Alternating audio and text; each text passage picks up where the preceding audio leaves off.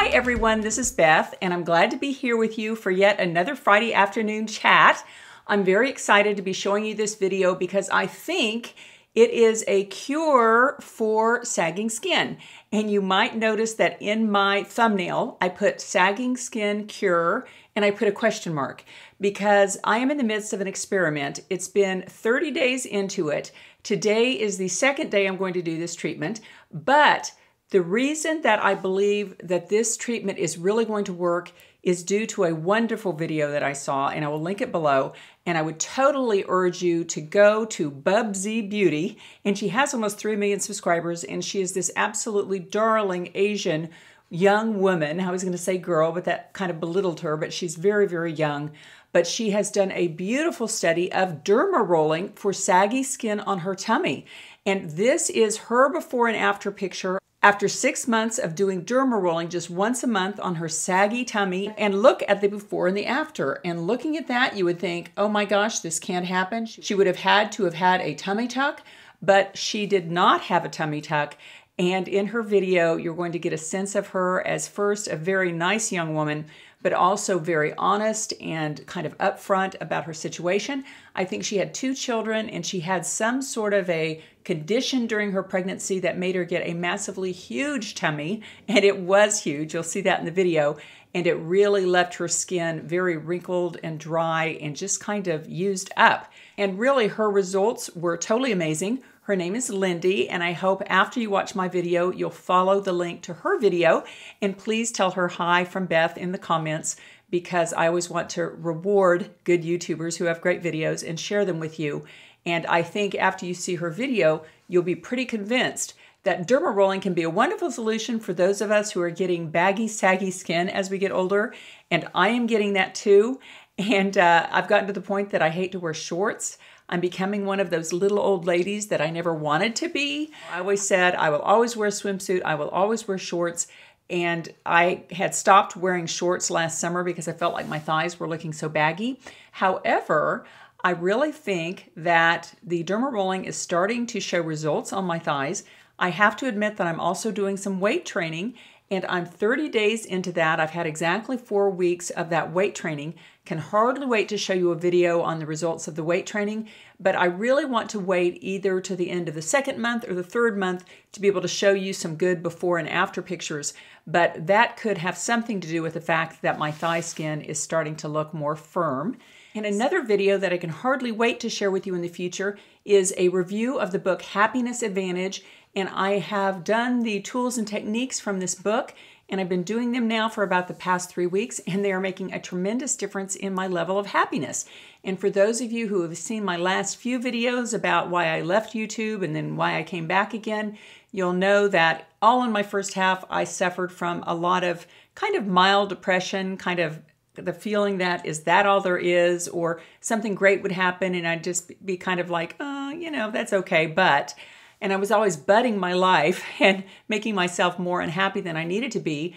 And I have truly noticed that through using these techniques that I've learned in this Happiness Advantage book, that I am really getting happier. And my days are becoming much more fun. And I'm excited to share that with you for those of you who suffer from sort of mild, low level depression. Okay, let's get into what I am doing for my saggy skin. Well, rather than telling you about it here, let me take you into my bathroom and I'll show you the second session that I've done with this. And then I'm going to be doing it once a month and I'll follow up with you at the end of six months and we'll see if I had some good progress. Okay, friends, here I am in my bathroom. Here's my bathroom. And here I am in my swimsuit. Actually, normally it doesn't show my tummy because I don't like my tummy to be showing because it's kind of wrinkly and baggy and saggy but oh, you can't see it. It's just kind of a swimsuit uh, with shorts on the bottom, which as we get to be a little older, it's nice to be covered up like that. But anyway, this is my 1.5 derma roller, and I always write what it is on the side because, sometimes you lose the little case. This is a 1.5 derma roller. And for your body skin, you can use a 1 point or a 1.5 for your face, you should really never go higher than a 0.5 derma roller. And that is for wrinkles and fine lines and that kind of thing. If you want to just use your derma roller to help your cosmetic uh, kind of skincare items sink in, you can use a 0.25. And I always have a little bottle of alcohol here. There's my bottle of alcohol. And I wash this with soap and water and then I spray it before and after with alcohol. Okay, and let me start with this tummy. And the tummy is not too bad after two kids, but it is definitely kind of wrinkly and baggy and saggy. I wish I could get in closer, but well, let me see if I can. Okay, there we are, and there's my saggy skin tummy, and the skin just gets a little, little saggy, and I have some, um, oh, I had a Burch bladder tie up, so I've got a few little scars down there somewhere. Here's a little scar. Okay, so let's go ahead and I'll just derma roll my tummy. And what I'm going to be doing is I'll show you my tummy derma rolling and then half of my body and I'll do the other half off camera. And to do this, you just kind of take this and do about 10, 8, 9, 10. Then you're just going to go here and it helps to pull the skin taut. 7, 8, 9, 10. And then there, 2, 3, 4, 5, 6, 7, 8, 9, 10. And here we go. 2, 3, 4, 5, six, seven, eight, nine, ten. And you're pressing firmly, but you're not necessarily drawing blood. You probably really shouldn't draw blood. Although when I've gone to an esthetician and had this done, sometimes they do draw blood and that's okay. In fact, they, they try to go for that, but I don't think it's really necessary. And I noticed in Lindy's video, she did not draw blood and she certainly had great results. And the whole idea behind this is you're making little micro punctures in the skin. It is getting red. Then your blood and all rushes to the surface to heal the skin. And apparently new collagen tends to grow. Eight, nine, ten. And I'm pretty much going to be doing this all over my body because I think we have a saggier skin as we get older everywhere. So there is the up and down, and then we're going to go side to side. One, two, three, four, five, six, seven, eight, nine, ten. Two, two, three, four, five, six, seven, eight, nine, ten. And what I do is I just put a little alert in my cell phone for the first day of every month. It's actually the 28th, I think, but I wanted to do this video today, so I'm a few days early. But it just reminds me that on the first, I want to do my derma rolling. Also, I clean my jewelry on the first too, because uh, that is one of the habits I started because I was not cleaning my jewelry like ever. And just doing it sporadically doesn't work for me. I have to have it on a schedule or it doesn't get done. I've really noticed that about habits. And then you go kind of diagonal, diagonal,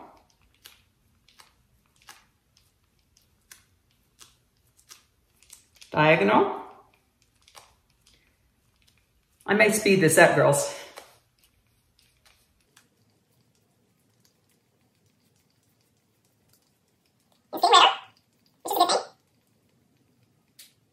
And then you go the other direction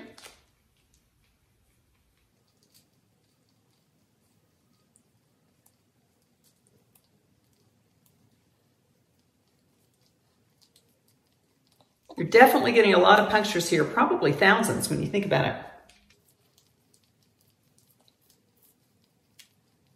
And when I had my breast fat transfer to remove my silicone implants, they did a little lipo on my tummy. So that's why it's a little bit uneven too. That happens and I'm hoping that that will all kind of uh, get taut. Okay, there is the tummy. Now we'll do a little bat wing action. And I don't do the diagonals on the arms. I really just pretty much go up and down because there's not much arm space. But again, I do 10.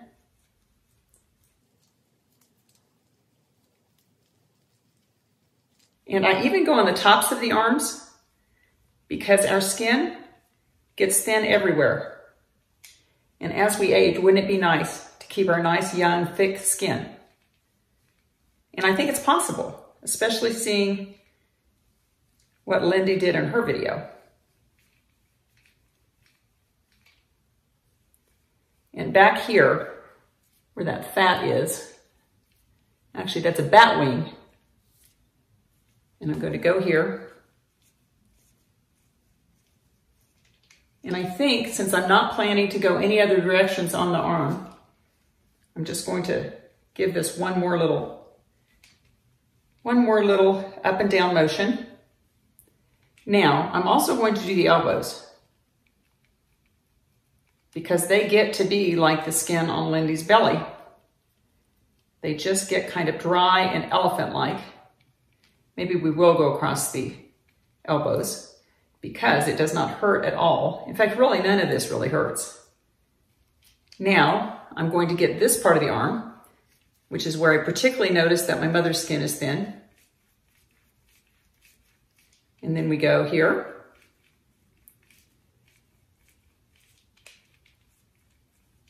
That hurts a little bit on that bone there.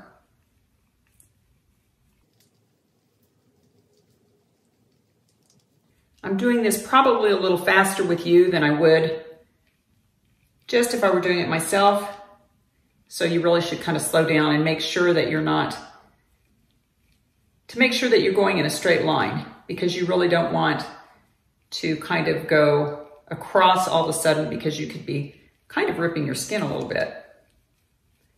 And again, since I'm not going to go any other direction, I'll just kind of go over everything one more time. Now I'll do the backs of the hands. Go clear up on the thumb. I should probably have my rings off. Oh well. we definitely get crepey skin on the backs of our hands. In this case, I think I will go across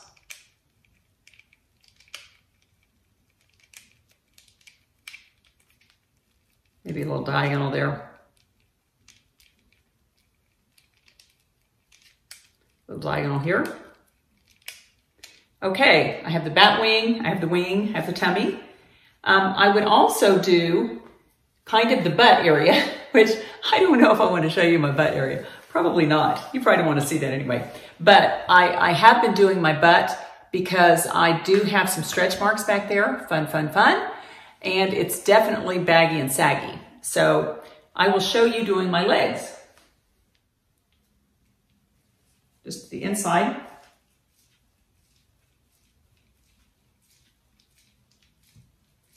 Just do 10 again.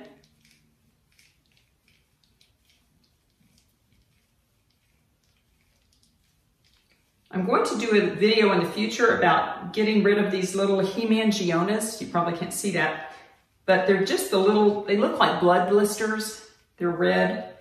And I was just in the dermatologist this morning. She was doing my annual mole check. Ever since I had that fibroblastoma, I think it's called, on my face and had it removed, which was not fun, I go for an annual mole check and I would recommend you do that too.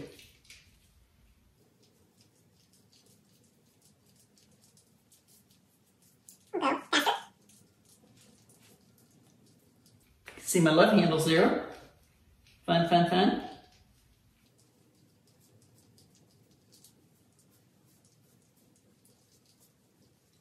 Again, I'm just going in one direction because it's too difficult to go across this way. And it's easy to kind of wound yourself that way, I've noticed. I have some stretch marks right up here. So I'm going to hit those a little harder. And I will do them crossways too. I've actually been doing these stretch marks on and off for probably a year and a half, two years, and they really are almost not noticeable now. And I do go across them. When you have stretch marks, you probably have to go a little harder on them.